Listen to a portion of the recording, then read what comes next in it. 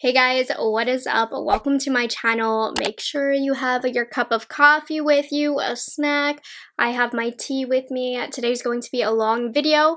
I am going to be doing my 2020 mid-year favorites. So if you are interested in seeing the products that I have been loving the most these first six months of the year, then just keep watching. So, um, I cut my hair like 10 inches. It just happened. And it's a bit of an adjustment for me. I've had long hair my whole life, but I felt like changing it up. We've been in quarantine so long, we've all gone so crazy, and I figured the way that the world is going and the numbers are going, probably won't be able to get my hair cut for a while. I was like, just cut it all off. Anyways, let me know what you guys think. It's definitely a different look, but I like it. It's something new. I saw a few of my friends here do this video and it had not even crossed my mind to do this video. I was not emotionally prepared at all. I saw Brit Clarke do it, Charlotte Holdcroft do it, Hey It's Jackeline do it, and amongst others. This has been quite a popular video and like I said, I was not mentally, emotionally, physically prepared to do this at all. This is a big video for me at the end of the year every year and it stresses me out every time going through my collection, looking through my videos to see what products really stood out to me. So in a short amount amount of time when I decided to do this video, I was like, well, I gotta go through my videos and my collection now to see what I've truly been loving this month. It is a lot of products.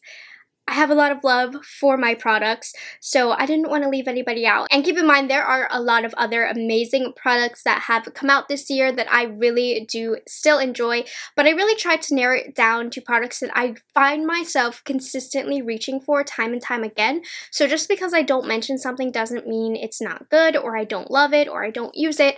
It's just I wear a lot of makeup and I play with a lot of makeup and these are the ones that I really have noticed have stood out. So we're going to start off with primers. I only have one primer that has really stood out to me as far as newer releases and newer purchases go this year and that is the Tatcha The Liquid Silk Canvas. I love this. I did not like the original silk canvas that came out but I love the way that this smells. I love how moisturizing this feels on my skin and I just love the base that this lays out for makeup. I really do feel like it makes a difference. So if you didn't like the regular silk canvas, I do recommend you get a sample of the liquid silk canvas because I feel like it works better than the original and it feels better and it's less messy and I really get the hype about this. I think it's amazing and I've used it a lot this year. It's one that I've had to put down so that I can use and give love to my other products because I love using this so much. Next, we have foundations. And I actually realized I haven't tried that many new foundations this year. Of course, my tried and trues are always with me. They're always my most used. But these are two foundations this year that I have found myself putting them into my regular rotation. So this first one came out early on in the year. And this is the Bite Beauty Changemaker Foundation. And this is one of those secret guys that kind of slipped in. I was using it a lot without thinking about it, didn't realize how much I loved it until I opened my drawers and I was like, oh, I've used this nonstop. I love this because it is so lightweight. It's great for every day. It's not a particularly glowy foundation or anything, but I think that's what makes this so appealing to me because I know I'm not going for a specific type of look. This is going to go with anything. It's going to wear well. It's going to feel light no matter where I'm going, no matter the temperature, and it's just going to look good and even everything out. So if you're looking for a really nice natural foundation, I do recommend this. This has a lighter side of medium coverage. You can build it up from light to medium. You can't go higher than that.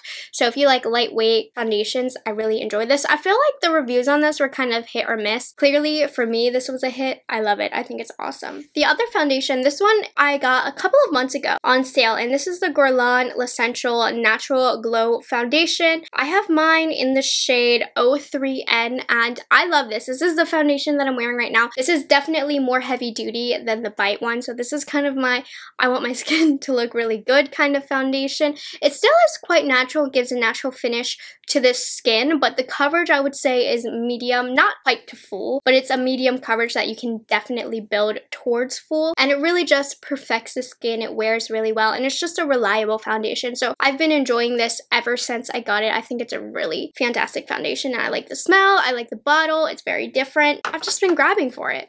this should come as no surprise to you guys. In fact, I've used it so much that it definitely feels like this concealer has been around forever, but really it did just release this year. And this is the Pat McGrath Labs Concealer. This is currently my all-time favorite, most used concealer of the year. I think it gives you pretty much a full coverage. It doesn't crease on me. It looks natural while still covering up your blemishes.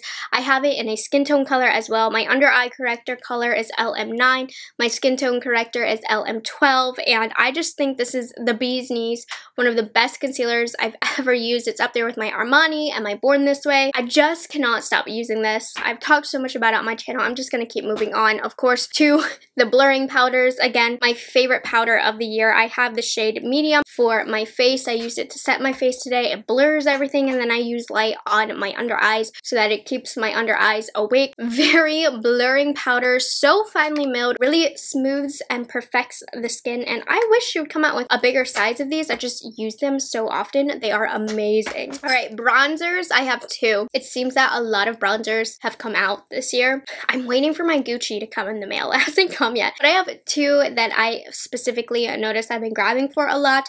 The first is from Kosas. This is their light bronzer and it is so stunning. I love this because it has a little bit more of a natural sheen to it while also making me have some color as well. It's not too warm. Brown's a little bit more neutral, which I think makes it more versatile for more makeup looks. It still shades my face, it contours, it adds warmth, but nothing too far on either spectrum. And then of course it has this beautiful glow to the skin that's very natural. It's not overpowering, but it still gives your face some dimension. So I highly recommend this one. I've been loving it so much for every day. The bronzer I've been going for when I want something a little bit more warm, a little bit more dramatic and heavy duty is the Charlotte Tilbury Airbrush Bronzer in number two medium.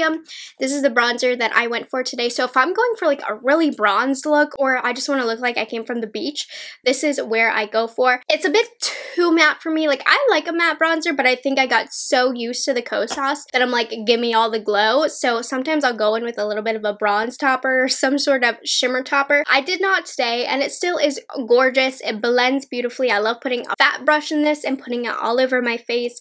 This is a bomb.com bronzer. It blends out so beautifully. Charlotte Tilbury has a wonderful powder formula as we all know. Moving into cheeks, besides eyeshadow palettes, blushes definitely had the most in the category. I love blushes. So the first one are these Chantecaille blushes you guys saw when I ordered from Neiman Marcus's sale. I definitely picked up a couple of these and I absolutely fell in love. These have a huge cult following. So many of you guys swear by these and for a good reason. The formulation on these are beautiful. The color is beautiful. I have Bliss, which is this very, very light pink. Definitely not for more medium to deep skin tones, but if you like a nice soft pink, this is gorgeous. And then I also have Emotion, which is the B one. This is more of like a corally color. I'm wearing this one on my cheek today. And there really isn't a powder that I feel like blends smoother onto the cheek than this. It deposits the perfect amount of color, just a touch of glow. Everything from the embossment in here to the way that it applies to the cheek, blends into the cheek, and also just looks and sits on the face. I love these. We also have the Dior Backstage Rosy Glow blush, and I got mine in the shade pink.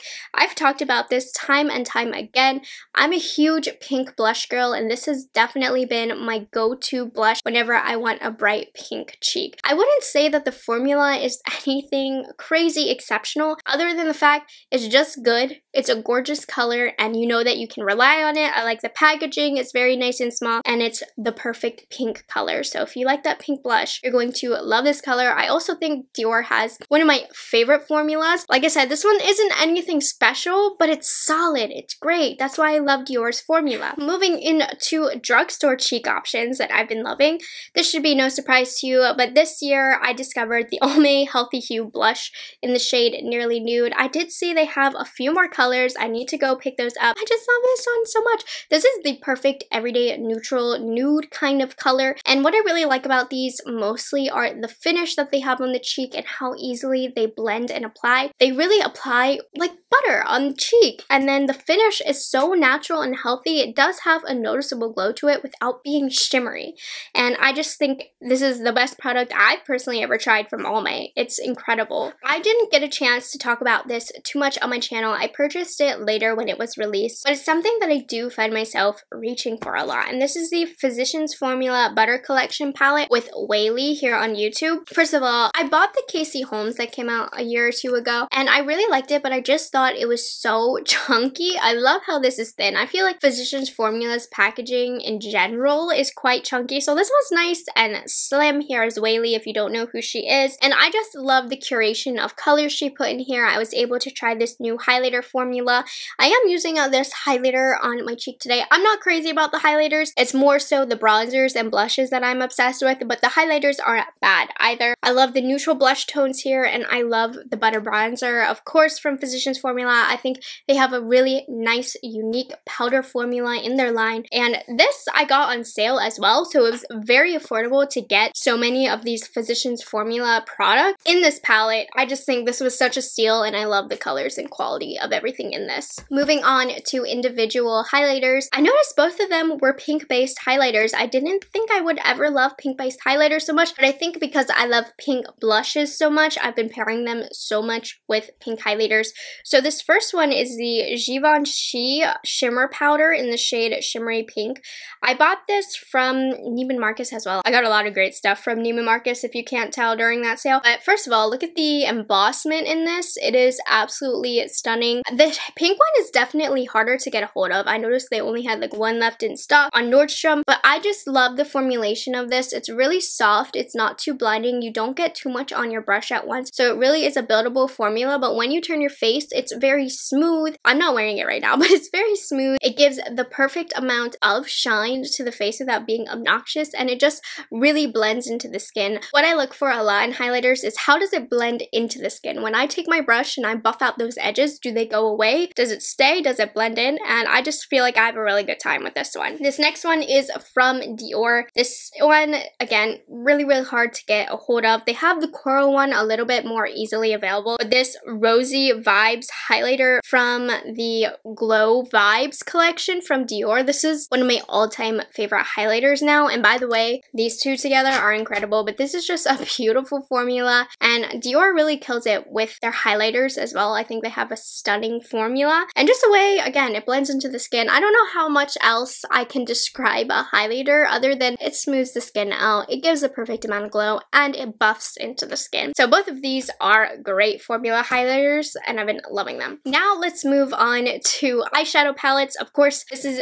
the biggest category because eyeshadows are what I look forward to most in makeup. They are the releases that I buy the most of, that I review the most of, and I just, I'm a bit of an eyeshadow expert. What can I say? The brand of the year so far has really been Charlotte Tilbury for me. I've been loving all of her products that she's released in the past, loving all of the new products she's been releasing. She's the brand of the year so far if she keeps it up. I spent the last three months really wearing Charlotte Tilbury any opportunity that I got from my Charlotte Tilbury rankings video. So because of that, I have a lot of Charlotte Tilbury quads that I wanted to mention, but I just decided if you want to see these palettes in action, see the specific names, how they look, check out my rankings video. I literally just posted it last week, and a lot of these palettes that I'm speaking of, I bought them this year and I fell in love with them. First, the newest collection that she came out with, which is the Color Magic collection. Those are an amazing formula. I feel like those eyeshadow quads were even more buttery, blendable, smooth. My favorite from there was Green Lights and Mesmerizing Maroon. And then I also got to try my top three favorites,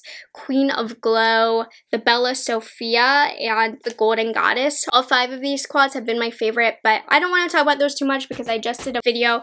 And also, of course, the Pillow Talk Instant Eye Palette has just been one that I've been reaching for a lot whenever I want to go for these pinky tones. The quality of this is so fabulous and I was surprised actually at how much I ended up loving this one. I didn't think I would love it as much as I did, but I just feel so inclined to reach for this one. I actually have a couple palettes that I'm very surprised by, but these really are ones that I have reached for a lot without even thinking about it. So this next one is the Natasha Denona Love Palette, and this one, when it came out and I reviewed it, I was like, it's a nice palette, but how often am I going to reach for it? It's so red, all of that. Well, let me tell you, I've been reaching for it a lot. You know, based on the amount of palettes that I have in my collection, this one definitely outnumbers a large amount of them. I found this year I've really been enjoying going for like colorful, pinky, purpley, kind of eyes. And this just has just what I need. I feel very comfortable reaching for this palette.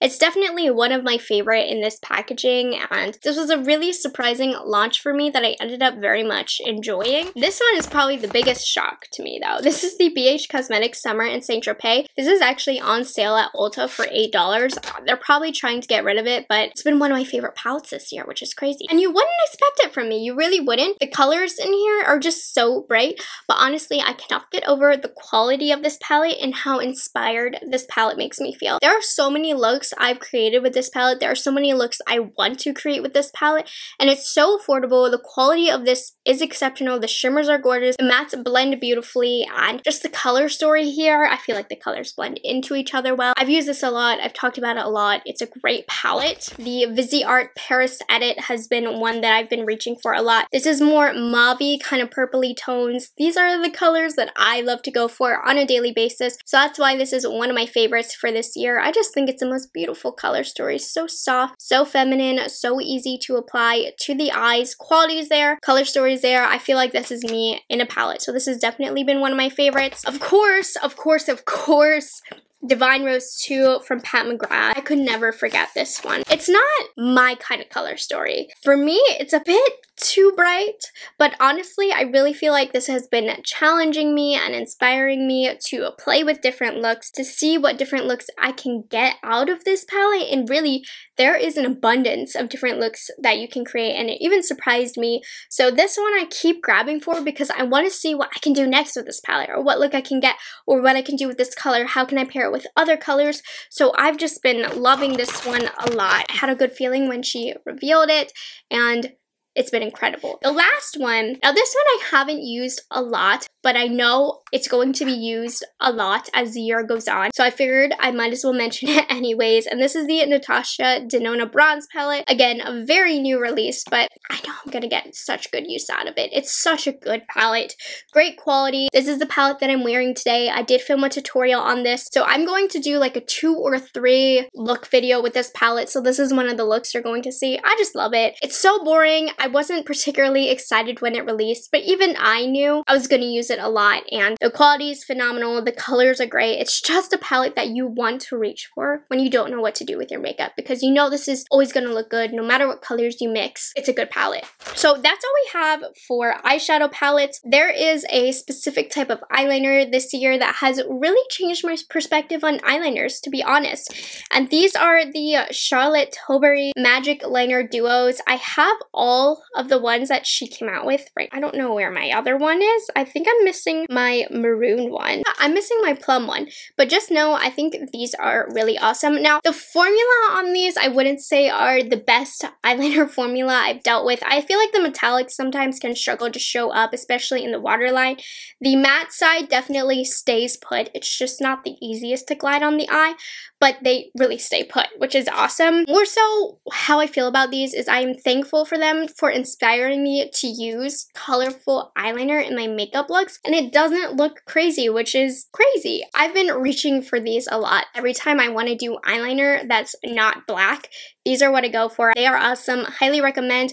And even if you don't want to spend the money on these, look into ColourPop eyeliners and you'll see what I mean. It's been really fun just to play around with eyeliner that's not black and it's not as crazy as you think. The new eyelashes that I discovered this year are from Ardell and they are her Naked Lashes line. If you are looking for great everyday falsies that almost give you a lash extension effect, these Naked Lashes are incredible. Right now I am wearing 421. They have a few different styles, but I've only tried 421 and 424. They are so natural looking. You can't even tell they're falsies, but they just make you look so much prettier. They're so easy to apply. They blend into the lash line so easily. I cannot speak enough goodness about these. Like, I need to buy these in bulk and put them in my makeup kit. They're that incredible. Now, let's move on to the lips. Honestly, I'm surprised. I did not have as many lip items for you as I thought I would. I'm very good about sharing the love with all of my makeup, mixing up my routine. But when it comes to lips, I definitely stay in my comfort zone and grab for the same things over and over again. And those things I was using last year. So I don't want to mention them again, but you guys know I love my Natasha Denona, my Charlotte Tilbury, and my Becca. Those are my top three formulas. So I always reach from lipsticks from that line. I've been using lip liners a lot this year. So I discovered the Wayne Goss lip liners. I think his lip liners are incredible. They're actual lip liners. Nowadays, in these times, a lot of brands are creating creamier lip liners when traditionally lip liners are a little bit more dry because they're supposed to make your lipstick last longer. And if they're too creamy, sometimes they can slip and they don't really do their job as a lip liner.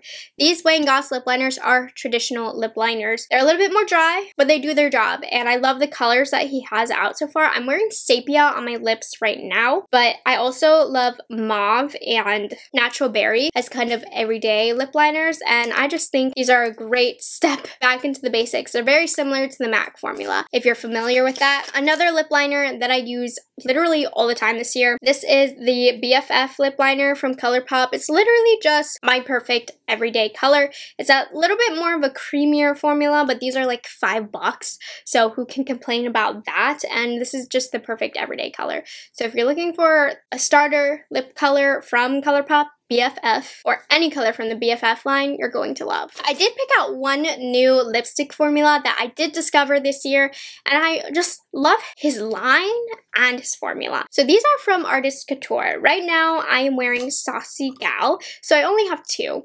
And I wouldn't say this formula has anything really innovative or special other than it's just a solid formula and it smells amazing. It has like a candy scent to it. I don't know, I've never smelled a lipstick like this, but it's incredible and his colors are what really stands out to me. These nudes are everything. So Saucy Gal is kind of my more everyday neutral beige and then we have Angel Baby which is dark lip liner on the lips and then a light baby pink like this in the center to really make your lips pop. I love both of these shades. If I didn't already have the lip collection that I have, I could totally pick up more shades from this line because best nudes. Finally, lip gloss. Again, had a lot of lip glosses to play with this year, but I definitely find myself going back time and time again for Pat McGrath lip glosses. Now, I do believe they were probably in my favorites last year, but I have picked up even more this year.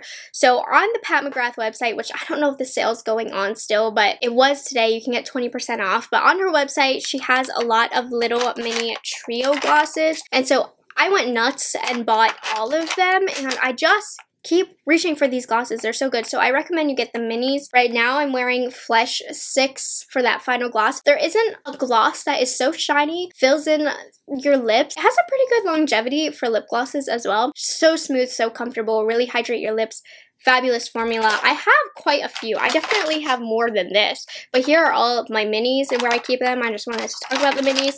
Also, my favorite most used color, this was definitely my favorites last year, is Dare to Bare. It's just the most perfect nude. But glosses are one of her best products in her line. And I think they get overshadowed by a lot of her other products. But really, I needed to shed some light on her glosses because they are all I've been using this year. That was it, you guys. Those are my favorite products of 2020 mid-year. I'll be very interested to see what happens the second half of the year because we all know the beginning didn't not go as we had anticipated, but I definitely had a lot of time to play with my makeup at home, and these are the ones that I've been wearing at home a lot. So thank you guys so much for watching my channel. I hope you guys enjoyed it. Make sure you check out the other videos that I linked below if you are interested in this topic, and I will see you guys in the next one. Bye guys, have a good one.